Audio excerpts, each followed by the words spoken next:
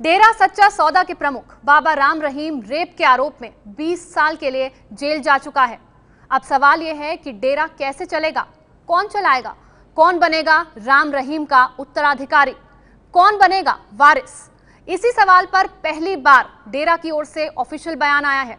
डेरा सच्चा सौदा की चेयरपर्सन विपासना ने एबीपी न्यूज़ संवाददाता रक्षित सिंह से कहा है कि डेरा का कोई उत्तराधिकारी नहीं होगा।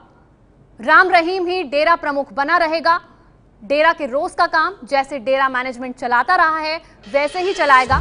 लेकिन राम रहीम का कोई उत्तराधिकारी या वारिस नहीं होगा। ये ऑफिशियल बयान डेरा का हम आपको सुना रहे हैं। ये बात डेरा चेयरपर्सन ने डेरा परिसर में दिए इंटरव्यू में कही है। राम रहीम के जेल जाने के बाद राम रहीम से जुड़े कई और सवालों के जवाब पहली बार डेरा ने दिए हैं। बाबा गुरमीत राम रहीम डेरा सच्चा सौदा और सिरसा। ये वो तीन शब्द हैं जो आप लोग लगातार पिछले पंद्रह दिनों से सुन रहे हैं। और इस वक्त हम सिरसा के बाबा गुरमीत राम रहीम के उसी डेरा सच्चा सौदा में बैठे हुए हैं और हमारे साथ एक्सक्लूसिव बातचीत करने के लिए इस वक्त मौजूद हैं डेरा की चेयरपर्सन जी हाँ विपासना जी इस वक्त एबीपी न्यूज़ से खास तौर पर बातचीत करने के लिए मौजूद हैं और हम डेरा सच्चा सौदा में ही हैं। मैम सबसे पहले तो थैंक यू आपने हम लोगों को टाइम दिया टाइम दिया।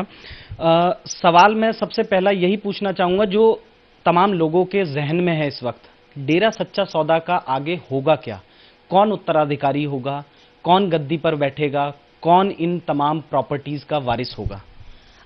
डेरा के बारे में जो ये अफवाहें फैल रही हैं कि उत्तराधिकारी घोषित कर दिया गया है डेरे ने तो ऐसा कुछ भी नहीं है। डेरे के उत्तराधिकारी गुरुजी ही रहेंगे।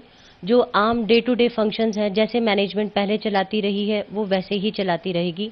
उत्तराधिकारी डेरे की तरफ़ से कोई भी घोषित नहीं किया गया वो गुरुजी ही रहेंगे। इसके अलावा मैम बात ये भी आ रही थी कि शायद जसमीत होंगे या फिर और कोई होगा तो इस बारे में अंतिम निर्णय हो चुका है कि बाबा जी ही रहेंगे। जी ये बिल्कुल अंतिम निर्णय है कोई भी उत्तराधिकारी नहीं होगा सिर्फ़ बाबा जी ही रहेंगे। इसके बाद में मैम दूसरे सवाल पे आता हूँ डेरा की फंक्शनिंग को लेके। तमाम तरह के सवाल उठ रहे हैं कि डेरा में क्या कुछ नहीं होता था। सब कुछ डेरा के अंदर होता था। तमाम जो गलत काम हैं वो डेरा के अंदर होते थे। डेरा की प्रॉपर्टीज़ को लेके सवाल उठ रहे हैं कि हज़ारों करोड़ रुपए की प्रॉपर्टीज़ है 700 एकड़ में फैली हुई है इतनी बड़ी सल्तनत बनाई हुई है इतनी बड़ी मिल्कियत बनाई हुई है लोगों की ज़मीनों पे कब्जा किया हुआ है। इस बारे में थोड़ी सी क्लैरिटी देंगी आपके प्रॉपर्टीज़ का क्या है, किस तरीके की प्रॉपर्टीज़ हैं, कितनी हैं, और जो ये बातें निकल के सामने आ रही हैं, ज़मीन हथियाना, ये सब इस पर थोड़ा सा देखिए, ये सब गवर्नमेंट प्रशासन असेस कर रहा है डेरे की properties as per honourable high court और ऐसा कुछ नहीं है कि डेरे में बहुत बड़ी सल्तनत क्रिएट करी गई है। पाँच करोड़ फॉलोवर्स हैं डेरे के छः करोड़ फॉलोवर्स हैं डेरे के। वो टाइम टू टाइम यहाँ पे आते हैं। उन्होंने अपने बिज़नेस क्रिएट किए हैं यहाँ पे। फैक्ट्रीज लगाई हैं पार्टनरशिप फर्म्स बनाई हैं कंपनीज़ बनाई हैं और वो उसे चला रहे हैं। ताकि अब वो यहाँ लोग आएँगे तो वो कुछ ना कुछ तो अपने जीने का कमाएँगे ही यहाँ से। तो वो चीज़ वो कर रहे हैं।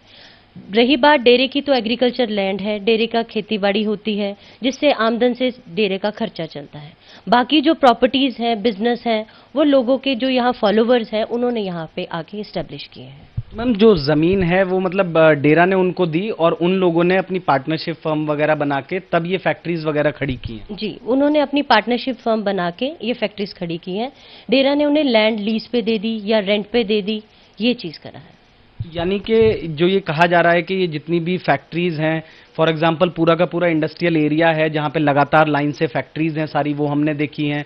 इसके अलावा अंदर रिसोर्ट्स वगैरह और बाकी जो चीज़ें हैं तो आपके कहने का मतलब है कि जो फॉलोअर्स हैं, उनमें से बहुत से लोग बिज़नेस पार्टनर्स हैं इन सब चीज़ों में। जी, वो बिज़नेस पार्टनर हैं और उन्हें वो ही हैंडल करते हैं। अलग अलग फ़ील्ड के अलग अलग एक्सपर्ट्स हैं जो उन्हें देखते हैं। चाहे वो रिजॉर्ट है, चाहे वो फैक्ट्रीज हैं, उनके अलग अलग सीईओ हैं डायरेक्टर्स हैं, जो उस चीज़ को देखते हैं। इसके अलावा मैम आपका एक 200 बेड का हॉस्पिटल है यहाँ पे। उस हॉस्पिटल को लेके अब बहुत तरह के सवाल उठ रहे हैं कि यहाँ पे अंगदान जो है वो होता था। लोग जो फॉलोअर्स हैं, वो या उनके फैमिली मेंबर्स जो है अंगदान करते थे और अंगों की जो तस्करी है, उसका आरोप डेरा के ऊपर लग रहा है। ये सरासर गलत है, बेबुनियाद बातें हैं। डेरा जब से इस्टेब्लिश हुआ है, तब से मानवता भलाई के कार्य करता रहा है। यहाँ पे मुफ़्त आँखों का कैंप लगाया जाता है। लोगों को, इतने अंधे लोगों को यहाँ आँखें दी गई, उनका इलाज किया गया।